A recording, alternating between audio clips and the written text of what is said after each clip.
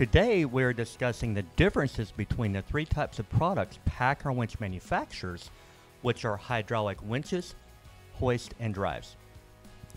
Winches move a load horizontally across a surface. They are used for trailer and towing applications, oil field recovery, self recovery, steep slope yo yo operations, and forestry.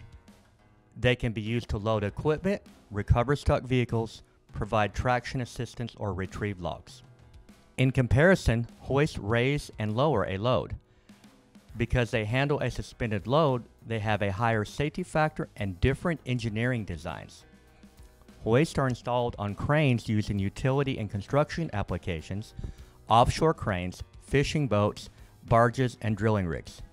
Hoists can also be rated for man riding applications and picking up personnel. Drives receive a rotational input and provide an output with a higher torque. Drives are used to rotate moving parts of equipment 360 degrees around a center axis, such as the turret of a mobile crane or excavator. Drives can also be used to rotate other components such as augers or the wheels of track vehicles. Winches and hoists are rated by their line pull at the first layer of rope on the drum, commonly stated in pounds or kilograms.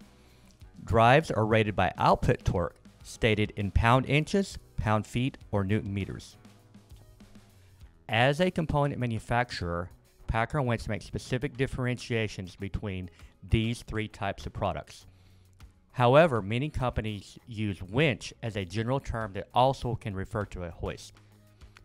The important thing to understand is the use for which the product has been designed and tested. If you have any questions, go to paccarwinch.com.